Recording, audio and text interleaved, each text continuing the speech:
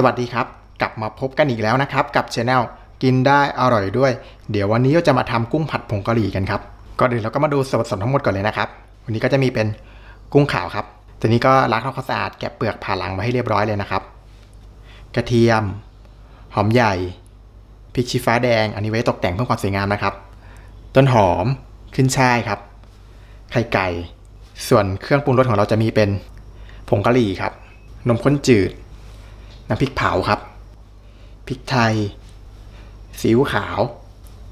ซอสหอยนางรม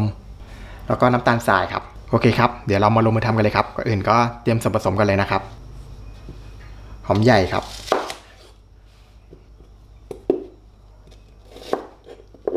อันนี้ก็หั่นเป็นชิ้นขนาดพอดีทานไว้เลยนะครับนี่ผมก็จะหั่นเป็น สไลด์เป็นเป็นแว่นไว้อย่างเงี้ยครับ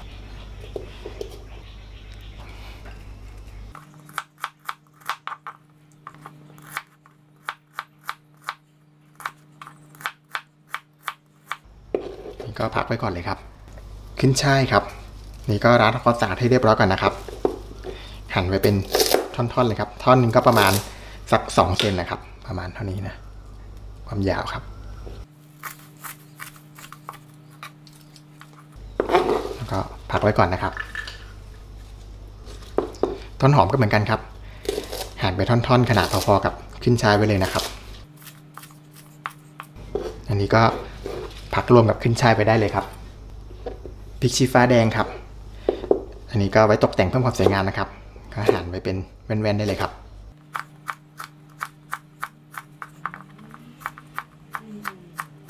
เสร็จแล้วก็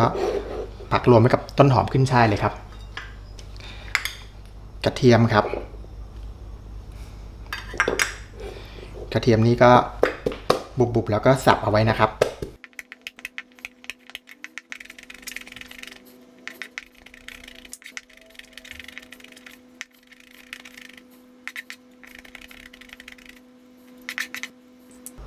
เสร็จแล้วเราก็มาเตรียมในส่วนของน้ำปรุงกันนะครับ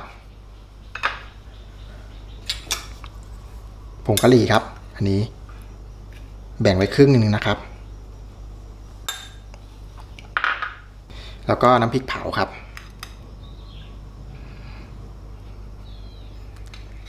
เอาน้ำมันพริกเผามาด้วยครับ เล็กน้อย จะได้สีสันสวยงามน่าทานยิ่งขึ้นครับ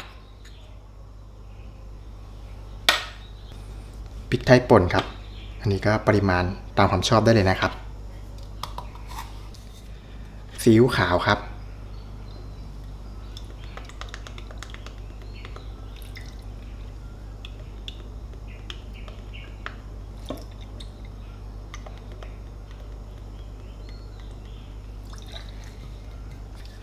ซอสหอยนางรมครับ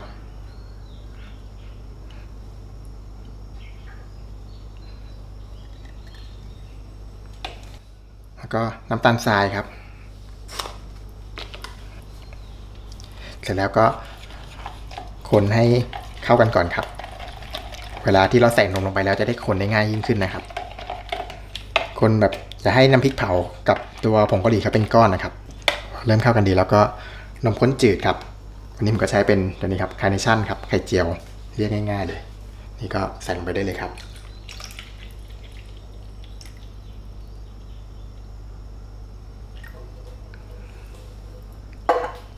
เสร็จแล้วก็คนผสมให้เข้ากันเลยครับ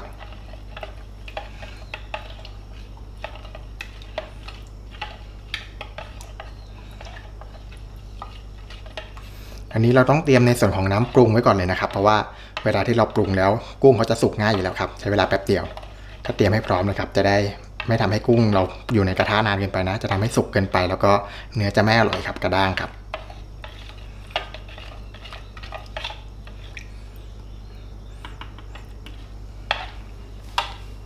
พอผสมเข้ากันดีแล้วก็ลองชิมรสชาติดูนะครับอืมโอเคเลยครับ รสชาติอร่อยแล้ว อ๋อผมลืมให้ดูไป ผมก็ดีผมใช้เป็นยี่ห้อนี้นะครับ วันนี้เป็นตามมือครับ นี่ก็เลือกหาได้ตามความสะดวกเลยครับ เสร็จแล้วก็พักไว้ก่อนครับ เตรียมไข่ไก่ครับ วันนี้ก็ใช้3ฟองครับไข่ไก่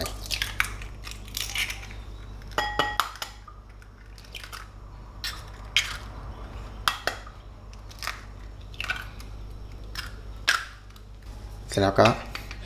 ตีเหมือนไข่เจียวเลยครับ เราตีไข่แยกต่างหากก็จะทำให้เรา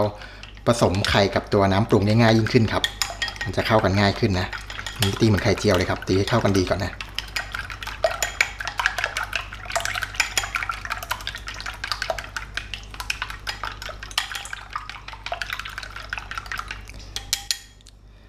เสร็จแล้วก็นำมาเทใส่น้ำที่เราปรุงไว้ได้เลยครับ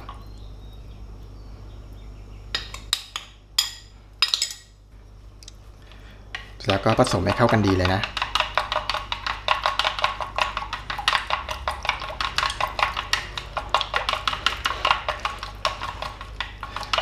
เท่านี้ก็เรียบร้อยครับ พร้อมนำไปปรุงแล้วครับก็ถึงก็เปิดเตาเลยครับ ใส่น้ำมันลงไปพอประมาณครับ วันนี้ผมใช้เป็นน้ำมันเจียวหมูครับ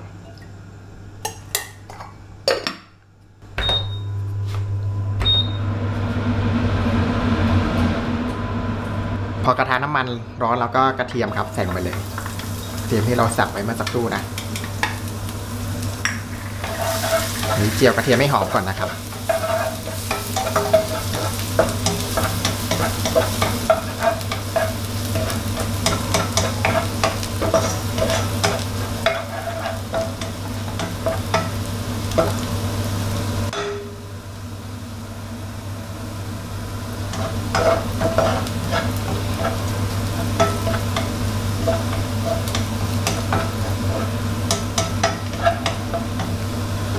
ทียมเริ่มหอมแล้วก็กุ้งครับใส่ลงไปเลย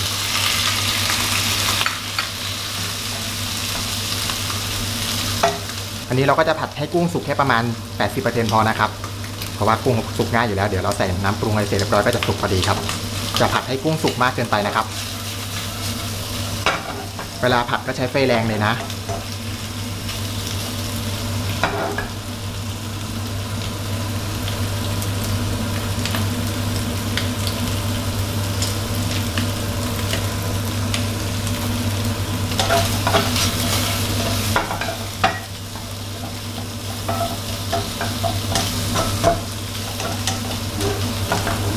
กุ้งเริ่มสุกได้ประมาณ 50%ครับ ก็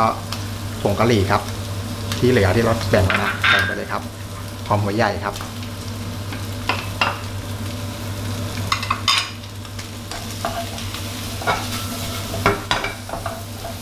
นี่ก็ผัดคลุกเคล้าให้เข้ากันเลยครับ ถ้าเกิดน้ำแห้งเกินไปก็เติมน้ำได้นิดหน่อยนะครับไม่อย่เยอะนะครับนิดหน่อยพอ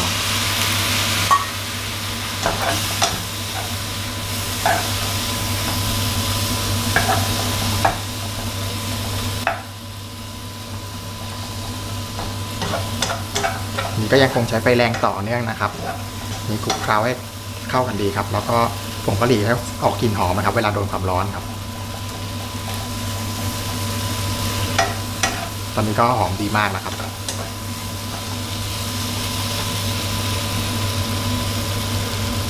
นี่ครับพอได้เท่านี้ก็โอเคแล้วนะ ตามด้วยน้ำที่เราปรุงไว้แล้วครับ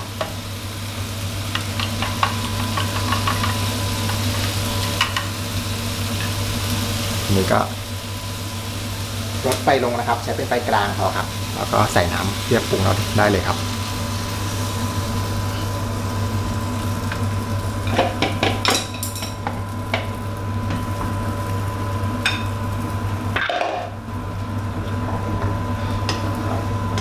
เสร็จแล้วก็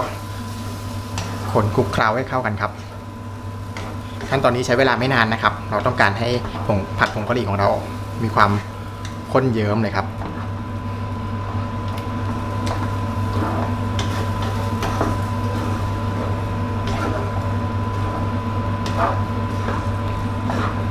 นะครับ พอสังเกตว่า ตัวผงกะหรี่เริ่มมีความข้นขึ้นมานะครับ ผักที่เราเตรียมไว้ครับใส่ลงไปทั้งหมดเลยครับ ต้นหอมขึ้นช่ายแล้วก็พริกชี้ฟ้าแดงครับ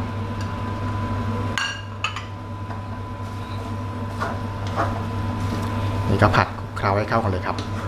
กลิ่นหอมดีมากเลยน่าทานสุดๆครับเร่งไฟแรงขึ้นมาเลยนะครับ ใช้เวลาผัดอีกแป๊บเดียวครับ เท่านี้ครับเสร็จเรียบร้อยปิดเตาได้เลยครับ ง่ายมากๆเลยครับกุ้งผัดผงกะหรี่นี่คลุกเคล้าให้ทั่วๆกันเลยครับ หอมดีมากสิ น่าทานสุดๆครับผัดผงกะหรี่เราก็จะข้นเยิ้มเลยนะครับ ดูน่าทานมาก ก็ลองทำตามกันดูนะครับทำไม่ยากครับ ขอบคุณที่ติดตามรับชมนะครับ ถ้าเกิดชอบก็อย่าลืมกดไลค์กดแชร์กด Subscribe แล้วก็อย่าลืมกดกระดิ่งไว้ด้วยนะ จะได้ไม่พลาดคลิปใหม่ ๆของเราสำหรับวันนี้เดี๋ยวผมขอตัวไปก่อน ไว้เจอกันคลิปหน้า สวัสดีครับ